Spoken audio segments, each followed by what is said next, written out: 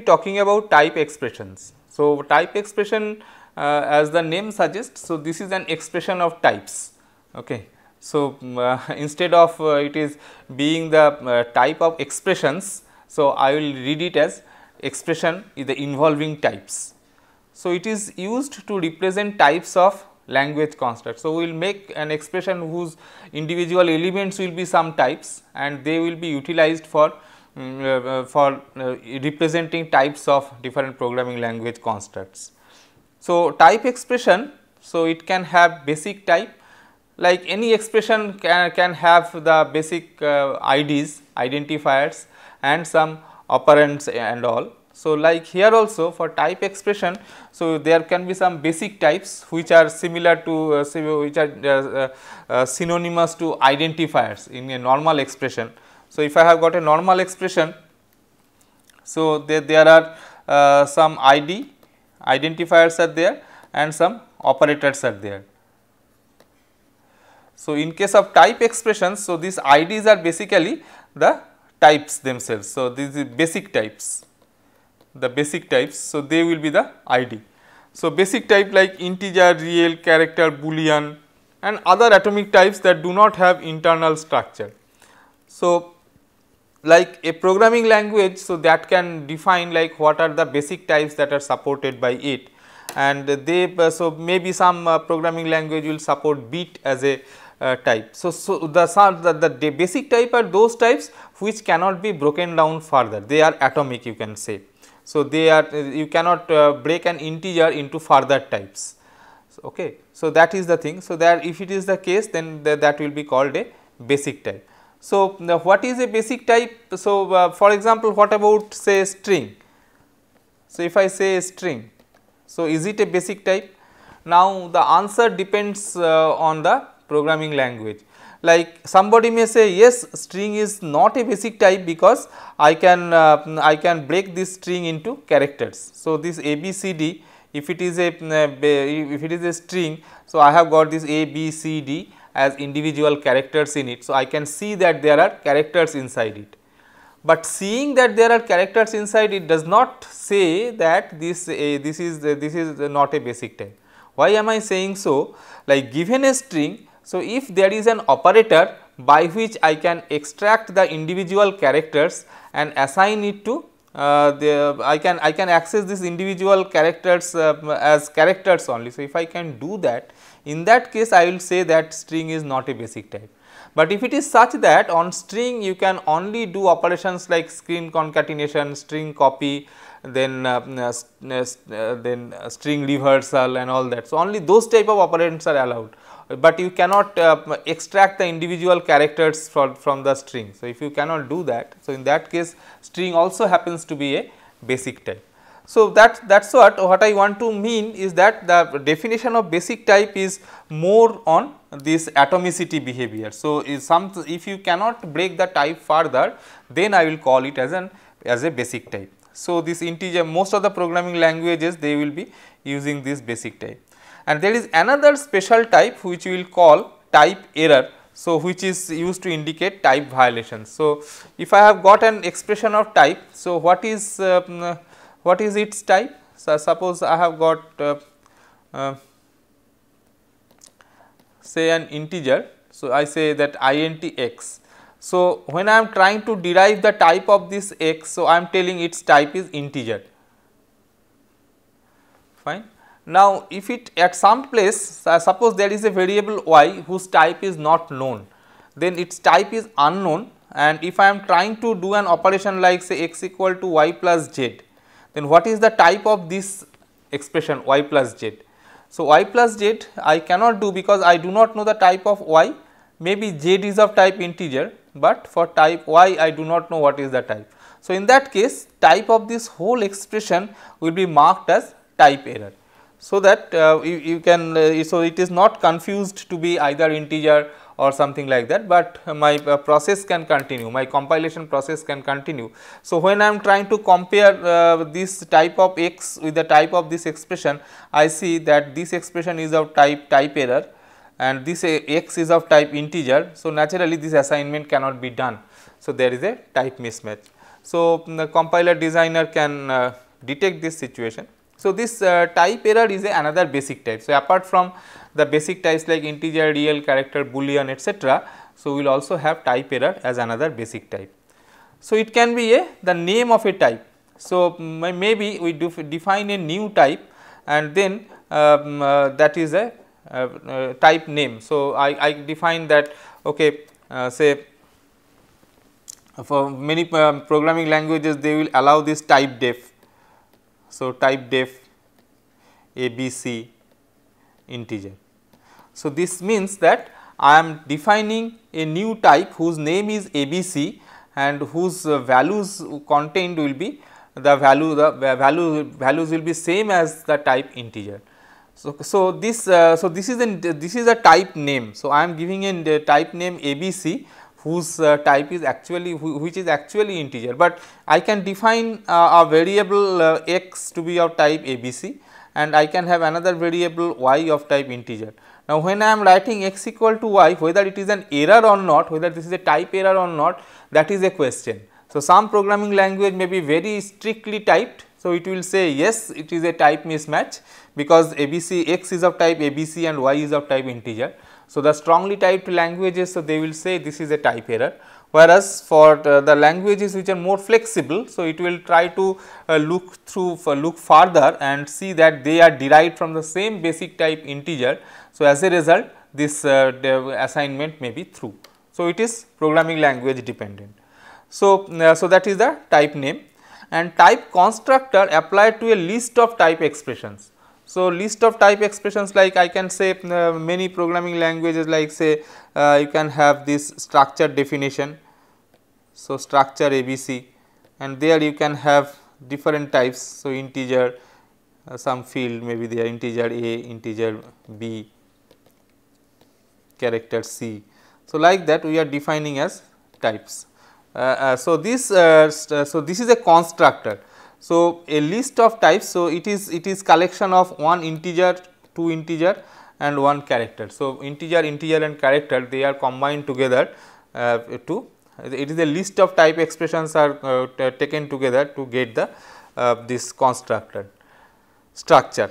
Similarly, I can have say the integer a 100. So, when I am saying this then I am telling that so this a 100 is a new type where which is our array of integers. So, array of integers this whole thing is a new type like so uh, so uh, uh, so this uh, actually you should uh, read it like this this expression though we, are, we in most of the programming languages we read it like this, but in reality it is like this integer 100 and that is a as if this integer 100 is the type. So, array of 100 integers taken together and I am defining a variable a of this type. So, you should read it in this fashion though for the sake of our understanding we write in this form, but it is like this. So, uh, similarly if I have got uh, something like this. So, inti uh, say integer a 100 and b 50. Now, you see that can I write uh, A equal to B? Okay, I cannot because there is a type mismatch here. What is the type mismatch? So, actually this A is of type integer 100. So, this is the type of A and the type of B is actually integer 50. So, it is B is a variable which is of type which is collection of 50 integers and a is a variable of type which is a collection of 100 integers. So, uh, this is also a constructor. So, this is an array constructor we, we say. So, this is constructing an array of 100 integers, this is constructing a type of array of 50 integers and this a and b. So, they are variables of these individual types. So, we cannot uh, do the assignment. So, it will be stopping as at type error. Now, some pro so if they are of same type like if this is also say 100 instead of that. So, this is also 100 then in that case A and B both are of same type. So, this is also 100. So, both of them are of type integer 100. So, in that case A equal to B is a feasible operation. So, many programming languages do allow this array uh, uh, array assignment directly. So, it will be doing element to element uh, allocation. So, uh, element to element copy, but it is allowed in the some programming languages. So, but this type has to be same. So, this way this type becomes very critical. So, it is the just by looking into the mm, program. So, we cannot say that okay this is they are whether these uh, types are correct or not. So, it is very much defined by the underlying programming language uh,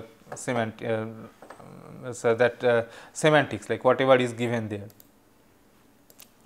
So, next we will be looking into this thing mm, that uh, so, arrays are specified as array it where t is the type and i is an uh, integer or a range of integer. For example, uh, so this is basically so that that is what I was telling that integer a 100 is nothing but uh, integer a 100 is nothing but is a type uh, type of a is array 100 integer. So, it is written like this array uh, it is a constructor array and uh, 100 such integers are taken together to give this thing. Now, we have got this thing that if T1 and T2 they are two type expressions then this T1 cross T2 it represents anonymous records. So, for example, when you are passing an argument list uh, to a function with the first argument integer the second real has type integer cross real. So, what I mean is suppose uh, I have got a uh, program and at this point I am calling the function uh, say function 1 and there I am passing two values a and b. Okay. And here in the function the function is like this. So, here int m and uh, uh, say float n and there I have written the function. Now, I need to check that when I am calling this function func1 from this uh, point. So, the parameters that I am passing is really matching with the uh, argument, the arguments that I am passing here is really matching with the parameters that I have here in the function. Now, how do I do this thing? So, uh, actually uh, the way we are doing is we are checking this a matching is this a with the first argument uh, first parameter matching the type of b with the second parameter like that. But formally speaking, so what are we doing? So, the if I, if I say that the for this is a type expression, so the, then this type expression is given by of type T1 cross T2, where T1 is the type of the first uh, parameter and uh, uh the first argument and T2 is the type of the second argument. As a result, this gives me a new type which is the cross product of uh, these uh, uh, two types T1 and T2 and then and then, then what is the type of this? So, this is nothing but a type T dash which is again T1 cross T2 and then this T1 and T2. So, this is uh, this is integer and this is float. So, T dash that we have here is a type integer cross float. So, here also this T should must be integer cross float then only I can say that these two types are matching otherwise not. So, this way formally this parameter uh, passing technique that we have that is also um, uh, we have to check for the arguments and we do this thing. So, um, some programming languages where it is uh, where you have to do this type checking. So, they, they will do it like this. Some programming languages will say no I am free. So, you can pass uh, any arbitrary uh, arguments. So, that is uh, that is possible. So, uh, then this checking is not done. So, this type construction is also not done. But anyway, so for most of the programming languages, so it will do this type checking and uh, this will be required. Next, we will see like uh, the named record. So, how does a record will look like? So, named records, so they are products with uh, uh, named elements. For a record structure with two named fields length and word. The record is of type length into integer, length cross integer cross word cross array of 10 uh, character. So, so this is this actually telling me that I have got a record say for example, if you look into the C programming language. So, this is uh, define a structure where the first field is um, uh, first field is it has got a name length and this is an integer. So, integer length and uh, and the second field is word which is of array 10. Uh, so, it is like character word 10. So, this is the structure. Now, what is the type of this structure? So, that that is what we uh, try to figure out. So, its type is depicted by this particular type expression. So, it is um, uh, it is length cross integer. So, length is of length uh, is of type integer. So, length into integer because length is a um, um, name of the field and integer is its corresponding type and this is word is the length, name of the field and it is an array of 10 characters. So, this product. Now, uh, what it means is that this if I have got another structure say structure. So, integer instead of length so I call it say len and uh, instead instead of word I call it say WD.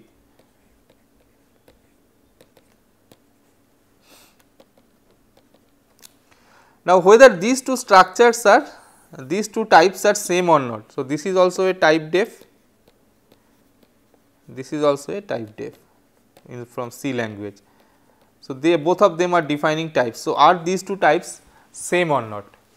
Now, uh, the, as far as this definition is concerned, these types are not same because here it says that it should be length cross some integer value, but here it is len cross some integer value. So, they are not same. Similarly, this is word cross array 10 character, but here it is WD cross array 10 cross character. So, 10 character. So, naturally, so they are not equivalent if I go by this thing. But of course, if you go further, so you can see you can say that okay, this lane and length, so they are actually equivalent because they are both of them are integers and then this WD and word, so they are also equivalent because both of them are character arrays of 10 entries. So, that way I can say that they are equivalent, but it, it, it requires more work. Okay. So, the, if the type checker has to do this type of checking, then the work involved is more. So, in most of the cases what happens is that we stop at this level itself telling that uh, these two types are not equivalent. Okay. So, we will come to this when we go to the type checking in more detail. So, uh, so this is the named record how are they uh, how their types are derived so that is mentioned here and also you can have a pointer. So, pointer uh, it, it, if t is a type expression then pointer t is also a type expression that represents objects that are pointers to objects of type t. So, this pointer t is also this is also a type expression whose type. Uh, so, this will represent uh, objects that are pointer to objects of type t and a function maps a collection of types to another representing D to R where D is the domain and R is the range of the function. So, for example, if I have got a C function like integer say f1 is the name of the function and it takes uh, um, parameters like say integer x, character y, float z then so it finally returns some integer value as the type of the f1 is integer. So, it returns some integer say m fine. Then D is the domain. So, domain says that from which uh, which uh, set it can pick up the values. So, it can pick up the values. So, so from the domain which is integer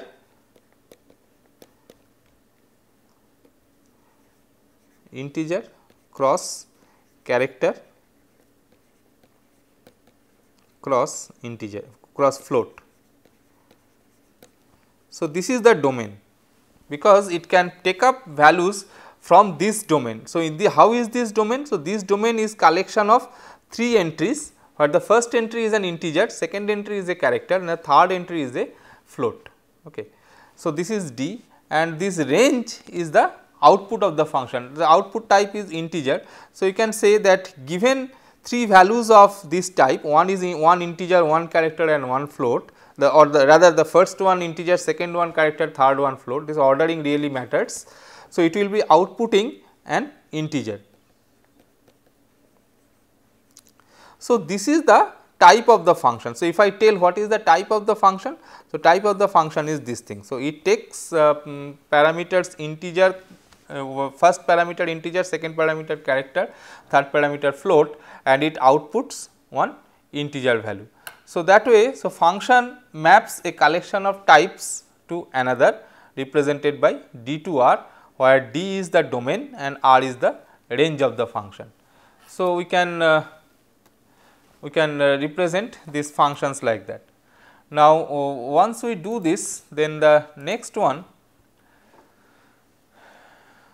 So, for so this is another example like say integer cross integer to character. So, this type expression it will represents a function that takes two integers as arguments and returns a character value. So, that is uh, one possibility.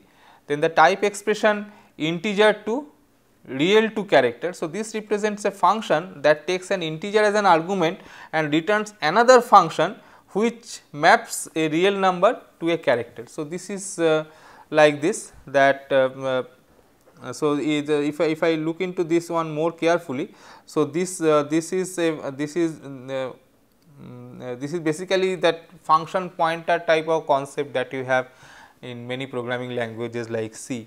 So, what the function does is the function 1. So, it takes uh, uh, an integer value integer x and depending on the value of x it will return some other function return some other function f2.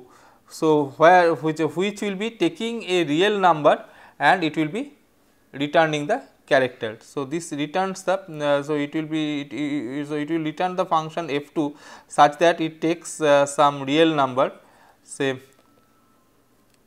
it will take some real number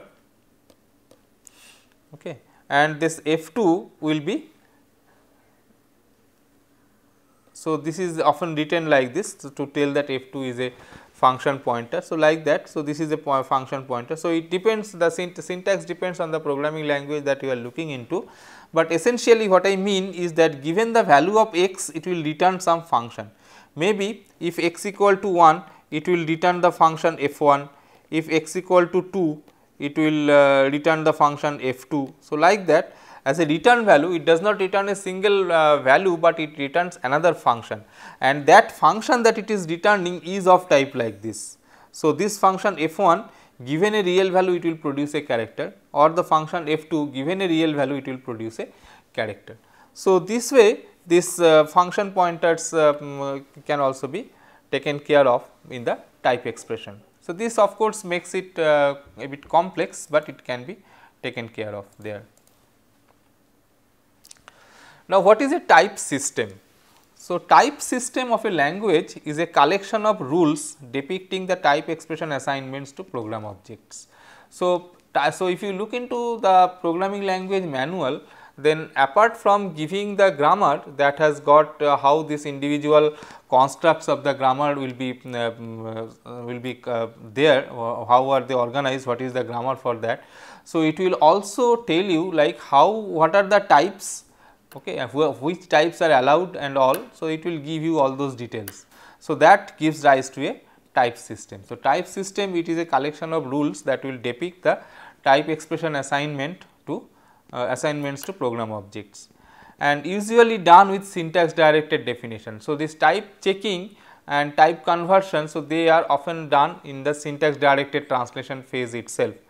So, and we will see how this can be done and type checker is an implementation of the type system. So, as a compiler designer, so we also have to include a type checker. So, it is not only that we generate code or uh, do some uh, syntax directed translation to do something else. So, that is there, but apart from that, so you also need to uh, have some uh, type checking uh, rules and those type checking rules are also to be made part of this um, this, uh, um, this syntax directed translation phase. So, that will be known as type checker. So, this is more difficult if the language is strongly typed then this type checker will be more complex. If the language is relatively simple then the type checker will also be a bit simple. So, what is a strongly typed language? So, strongly typed language, so compiler can verify that the program will execute without any type errors. So, this is the most important like the. So, if the, the, strongly typed language, so if the compiler says yes the program is correct syntactically and semantically correct, then uh, so it will be it is telling that the program will not give uh, those type of bugs or those type of uh, problems while executing it will not come up with some type error.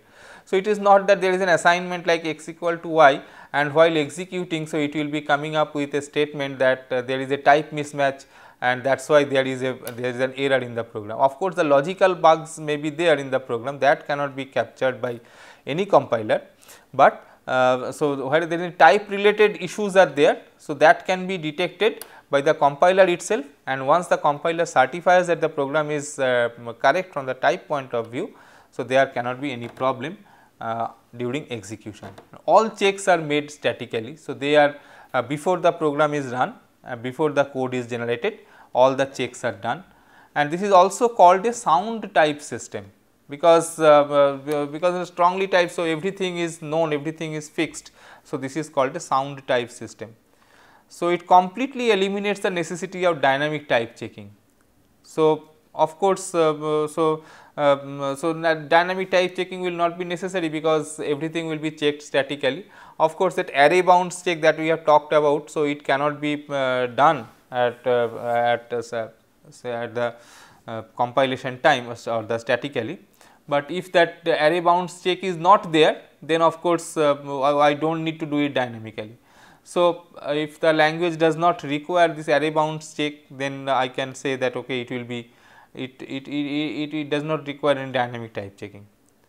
Most programming languages are weakly typed they are they are not strongly typed because strongly typed means for every uh, small small things. So, you have to uh, you have to have uh, this type uh, things taken care of. So, the, the programmers will also find that many things are too trivial and these too trivial things are also not taken care of like that may be the situation.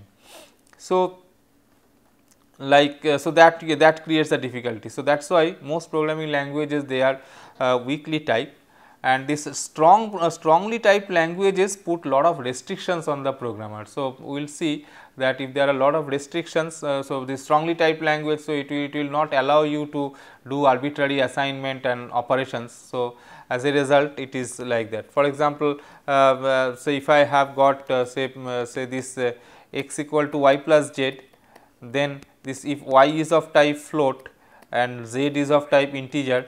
So, a strongly typed language will not allow you to do this addition. But you see that we can do this addition uh, because the, uh, the we can always uh, uh, take it as a floating point addition and do the addition. So, if it is a strongly typed language then everything has to be uh, um, everything has to be very uh, crucial. This uh, another very um, uh, subtle example may be like this. Suppose I want to write like x equal to y by 2, where x and y both of them are of type float. But while I am writing like this y by 2, this 2 is a 2 is an integer and this y is a floating point number. So, you see now there is a type mismatch because the two operands involved in the uh, division operation they are not of same type. So, it requires that the programmer writes it as y by 2.0 not as 2. So, that this type of funny things can come up. Okay. So, that is why if you make it very strongly typed, so it can give rise to many problems for the programmer also. So, uh, this uh, strongly typed languages uh, they are um, uh, they are not uh, this type checking does not is not made so strong so, there are cases where this type error can be caught dynamically only. So, this is a typical situation is like that array bounds check that I was talking about and many languages also allow the users to override the system. So, uh, like the type casting, type coercion, so those are there. So, we will see that uh, in subsequent uh, classes.